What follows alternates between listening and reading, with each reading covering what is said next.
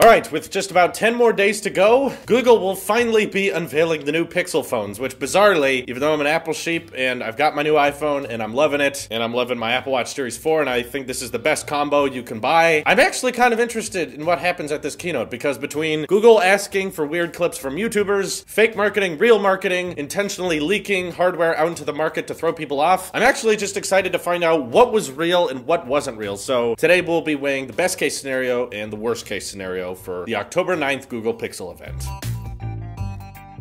So I want to start off on a good note, so I want to talk about the best case scenario. What could actually get me excited for the Pixel line, make me think we could have something interesting, and that is the very, very plausible Pixel Ultra being real. So one size bezel all the way around the phone, they're somehow able to fit their front-facing cameras, maybe some face unlock technology into that side bezel, while still remaining to squeeze their front-facing speakers on the front with a gorgeous uniform bezel all the way around, a little bit thicker than usual, but it results in you not having to put up with a notch and not having a chin either. Not saying this theory is completely going to happen, 100% it is going to happen, but I would like to keep it as a possibility so that we can remain a little bit hopeful. And this Pixel Ultra could ship with a Snapdragon 845, or perhaps Google could start working on their own in-house chips, which, as we've seen, when the hardware company designs the CPU themselves, like with Apple's A series of chips, you typically get much, much better results. I think Google is a company with a lot of resources. If they wanted to separate the Pixel line a little bit bit more from the rest of the Android competition, that would be a wonderful way to do that via hardware. I still don't even imagine a Pixel Ultra having a dual camera, but with the fans of Google's processing of how they handle pictures on the front-facing camera and rear-facing camera, with those bokeh effects and the HDR settings, I'm sure that the people who love the Pixel 2 camera are still going to love the Pixel 3 camera without adding a dual or triple lens setup. Even though the DxOMark thinks that that might help a little bit, Google is going to put their foot down this time and say, no, single camera, that's all you need screw ultra wide, screw telephoto. It's all about that bokeh, which hopefully this year they're able to get a live view so you can actually see what the portrait photo looks like before you take it. Because right now, you just kind of have to activate portrait mode and then hope that it looks good when it's done. And usually it does because the Pixel phones are really good at using AI to mask out their backgrounds, but still, the fact that you can't see it as you're taking it is an advantage both Galaxies and iPhones have. I believe like a dream-like price point could be around $900 for a Pixel Ultra. It would definitely be more expensive expensive than before, but my running theme with best case scenario this year is Google acknowledges that because they're competing with a lot of other Android phones, they need to be more competitive with their pricing, and that means being more obtainable by more and more people. See, right now, the fact that they're still selling a Pixel 2 XL for $850 alongside phones like the Galaxy S9 for the past six months, I think that's a little embarrassing. With all of the features that are packed into Galaxy phones that are even cheaper between dual camera, wireless charging, keeping the headphone jack for those who care about it while still running Android. There's only a few things Samsung does that you have to put up with in order for that phone to be overall a much more feature-packed device compared to the Pixel phones, which you really gotta love that camera in stock Android because if you're not a major fan of that, there's not a whole lot on the Pixel line right now to be excited about, especially for that price point and especially when it comes to that software exclusivity because Android is pretty accessible for every other third-party manufacturer out there. That's why I think it's okay that Apple Apple prices their iPhones a little bit higher because you can't get iOS anywhere else. With Android, you can. So you have to get the argument of it's a it's a special version of Android, stock Android, which is totally different than other versions of Android, even though you can customize it to whatever you like. But regardless, lower prices I think would be best case scenario for the entire Pixel lineup this year. So we have Pixel Ultra, then we have the regular Pixel 3 and Pixel 3 XL. These I think while a lot of us like to make fun of them, they look ugly. If Google adds in the software a way to turn off off the notch so you don't have to embrace it, and then you just have widgets up there that are surrounded by pixels that are completely off, and you're not forced to adapt to the notch, I think a lot more people would be okay with it, especially the regular size Pixel 3, which I think if Google is smart, since this phone would be incredibly average compared to the rest of the Android market right now, the Pixel 3 is going to be competing with the OnePlus 6T, the regular OnePlus 6, and the Galaxy S9 lineup, and the Note 9. I think it would make sense that Google makes these really premium phones a lot more obtainable for for countries like India, China, by making them lower price so that import tariffs don't hurt them that bad. Or of course, they just manufacture them in those countries so they're more obtainable. So regular Pixel 3, I believe, should start at $500, not $650, and have giant bezels. I think it's funny how Google originally said, we don't believe that there should be exclusives depending on what size phone you buy. And then with the Pixel 2 XL, they made it look much, much better than the regular Pixel 2, which had giant forehead and chin, just so you could have those front-facing speakers, which they honestly didn't need. But now it looks like the regular size Pixel 3 adopts that screen-to-body ratio that the Pixel 2 XL had, which I think was far more popular because it looked somewhat decent. It was a little bit better. Still not anywhere near the bezel-less design of what Apple has reached with the iPhone 10s and 10s Max, or what Samsung has achieved with the Galaxy S9 or Note 9, but maybe Google could orient themselves as the Android phone that just works and is reliable. And I think selling the Pixel 3 at a lower price point could be a great way to market themselves to be more obtainable. That way, the Pixel lineup is a bit more in the field of the OnePlus phones and not so much the Galaxies and the iPhones. Based on some packaging leaks, I'm also really hoping that this is the year Google starts including headphones with the purchase. As we've seen with some leaks, we've got Pixel Bud looking headphones that use the USB-C port that they include with the phone now. That could be interesting. I definitely heard a lot of complaints about the design of the Pixel Buds and that adjustable cord not really working for most people, but that's still better than nothing. I just thought it was ridiculous that Pixel phones were so expensive and they didn't come included with headphones when that has been such a standard thing for smartphones for so long. Google should at least be able to do that if they're going to price themselves at that caliber. So hopefully this year they change that. Based on the leaks, we're definitely seeing a lot of glassback, so I assume Google will finally be adopting to the wireless charging game. But I'm also hoping that with the 3XL's new cameras on the front and the design for the regular Pixel 3 that we've been seeing, that they've adapted some type of face unlock technology because when you put the fingerprint reader on the back, but then you tell people that wireless charging works, it's a little counterintuitive because you have to pick up the charger to unlock the phone and then put it back down. So it would make more sense that they adopt to face unlock technology of some sort. It doesn't have to be exactly like Face ID, just maybe something more like OnePlus has done with Face Unlock, which is really fast and reliable, so maybe they could move more in that direction. Now moving on to the worst case scenario. In other words, the scenario I think is more likely that I really would not be looking forward to because for those of you who don't know, I agreed to a deal with For the Love of Tech, a different tech channel out there on YouTube, who said that if I use the Pixel 3 XL or the Ultra, whatever the nicest Pixel phone that came out this year is, if I use it as my daily driver for a month, I get to keep it and come on his channel to talk about my experience with it. And I agreed. So whatever the nicest Pixel that comes out in 10 days is, that is going to be my phone for a while. And I'm really gonna miss this guy. but worst case scenario, I think is the possibility that there is no Pixel Ultra. The leaks are absolutely true. They were not intentional. They were not fake. Both the Pixel 3 and the Pixel 3 XL are the only phones we'd be getting. Google tells everyone to totally embrace this big fat notch. There's not a way to turn it off because, hey, iPhones don't have a way to turn it off. Why should we? We're just trying to be the Google version of an iPhone. They don't change the prices, so they match the exact same prices of the 2 and the 2 XL right now, which is $850 for that larger size. And honestly, when you look at that 3 XL leak, the chin isn't even that small. You know, Samsung's been trying to shrink their chin a little bit. Overall, the Android community has been like trying to get rid of that. Apple's been able to get rid of it because they're okay with charging so much to get rid of it, or they're okay with biting the bullet and making 828p displays because they know most people don't care. And then they're able to get one size bezel all the way around with the iPhone 10R. But the rest of the Android community, since they're so fixated on 1080p and keeping the price lower than an iPhone, they're getting rid of as much as the chin as they can. But with the Pixel 2 and now the Pixel 3 XL design, it doesn't seem like they're trying very much. Turns out that the viral marketing campaign didn't actually work out. The Pixel Ultra we kept hearing about was a partnership they were hoping to do with Xiaomi, but never actually went into effect. They couldn't get their design teams to cooperate and they couldn't settle on a device that they think was adequately priced and ready for the consumer market. So it turns out Pixel Ultra had to be flat out canceled, like some say just happened last year. There was supposed to be a third phone that came out and it actually didn't. That by far would be a hilarious keynote because everyone would be anticipating all of this hype, all of this, what's Google doing? Why are they bamboozling us? Why are they attempting this? And then it comes out and it's like, oh, all of that was for nothing. Yeah, they were just, they were actually that bad. That would be a really worst case scenario to have a $850 phone with a big notch coming out at the end of 2018, just now getting a Snapdragon 845, just now getting Qi charging, and still got that one camera on the back, which I'm sure DxOMark will say is great, even though it's gonna be severely lacking a lot of features that much, much cheaper iPhones can do between video and pictures. But, you know, they're gonna send it out to a ton of YouTubers who are gonna love love it anyway, so what are they worried about? I'm hoping for scenario one where everything goes well because I gotta use this thing for a good month, so let me know what you guys think's going to happen, or is it going to be a mixture of what I talked about today? All that good stuff, let me know in the comments below. This is your Apple Beer. I'll see you in the next one.